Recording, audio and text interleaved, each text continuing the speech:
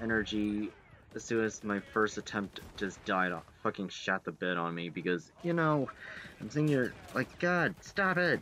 I want to talk about something, but at the same time, it's just, it'd be nice if my energy ran out, didn't just fucking run out because, well, I'm sitting here, oddly enough, I made a whole rant about quote-unquote energy me and put only put on Facebook. I didn't even bother to bother to like post that vid again for YouTube, so I don't know why I held back on it, which I don't want to talk about energy again when I already had it for one video, so what was I trying to say?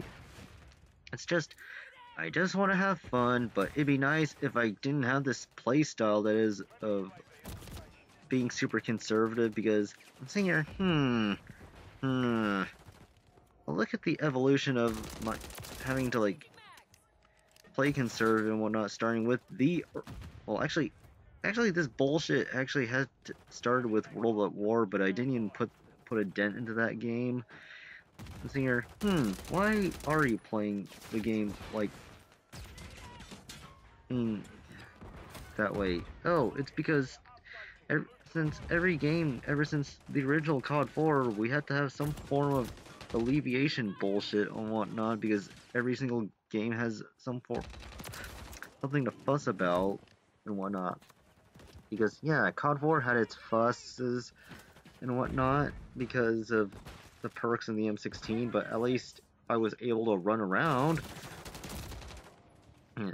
I was able to run around in all the maps and whatnot. And then World at War was the beginning of why people had to start playing conservatively because those dumb fucks at Treyarch decided to put make the MP40 do 50 damage.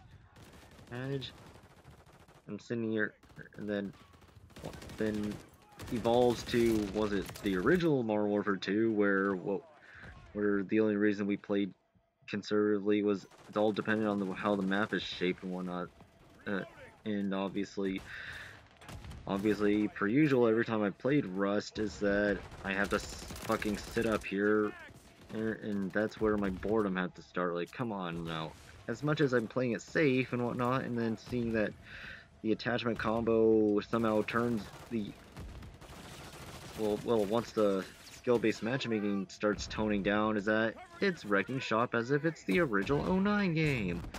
And fun times when people were complaining about that, but that's not it at all. And then Black Ops 1, the only reason people played conservatively was to alleviate the whole ghosting issue where, hmm, where should I plant my motion sensor?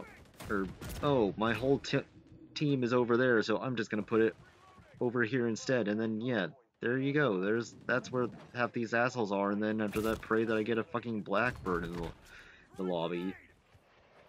Lobby. Let's see. Then there's the original Modern Warfare 3, which... Yeah. The original Modern Warfare 3, you're, yeah, you have to play like leapfrog pretty much with the motion sensor, but even then, the whole assassin issue and just lock down one area of the map, which some it might call it campy though, but at the same time it helps. That's how I was able to get some of the have matches where I was being able to do well and actually and actually fucking defend the game because because yeah to this day some of my friends still like have complaints about the game and whatnot on the original Modern Warfare 3, but then I'm sitting here defending it, saying, oh, you just you know just bother to... Yeah, that's... Actually, that's actually my defiant of me defending it, saying, oh, you just gotta get good, okay? Okay, and then they just argue, well, I can't get good, so then I try to help them with by doing nothing but give them UAVs, but that's not that's not helping.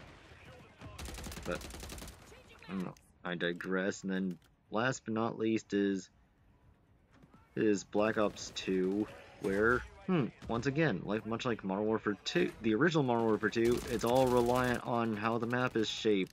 Some maps I can run around with an SMG or a shotgun, but then some maps I have to just sit back with the assault and whatnot, which kind of think of the last, I, I did make one vid where I kind of did run around with an assault, but at the same, time, actually, actually no, there was only like one, uh, one, one gun I was able to run around on assault class and whatnot. So yeah, but anyway,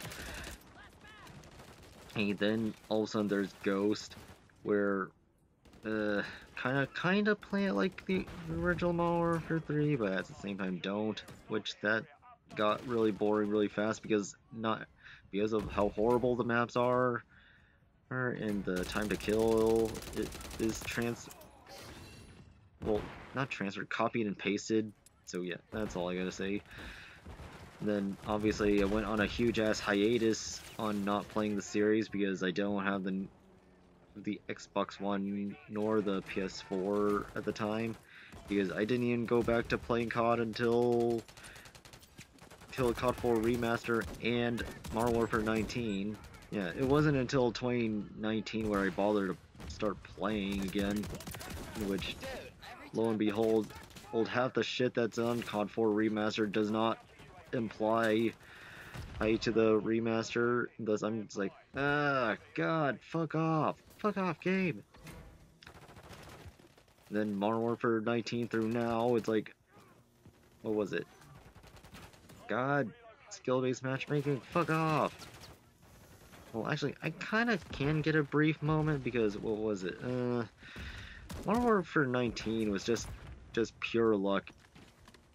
Uh, if the skill-based matchmaking is going to tone down at, at all, and then then during my brief moment on playing Cold War on the beta and whatnot, I it's basically playing like the first Black Ops where you just got to put the motion sensor somewhere motion sensor somewhere and pray that they all go to your location without them knowing you. And then horribly Vanguard, it's kind of like that as well, but at the same time, it's like you just gotta pray that. Well, actually, no.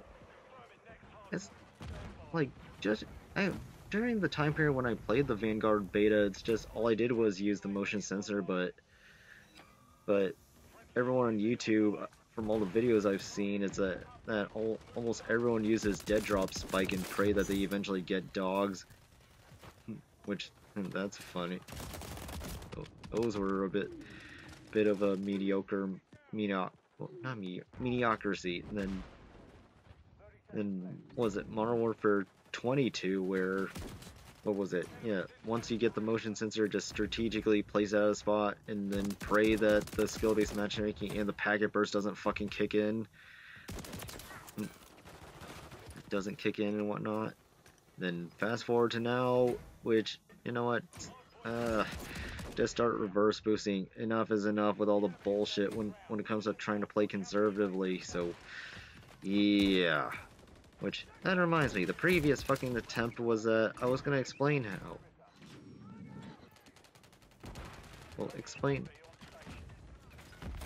Explain how, uh, I'm starting to reverse boost because I have two consoles to play it on.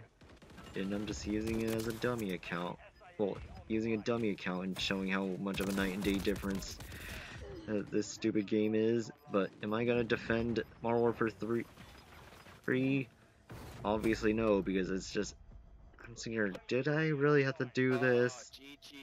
Yes and no, but, I mean, you know, and on top of that, you know, when it comes down to the subject of reverse boosting, I'm just gonna admit it. Well, well, actually, I just did admit it, so, that's all I gotta say. And also, and, and do I give a shit that people are gonna call me out? No, because I'm not popular. Unless somehow my videos start exploding in views.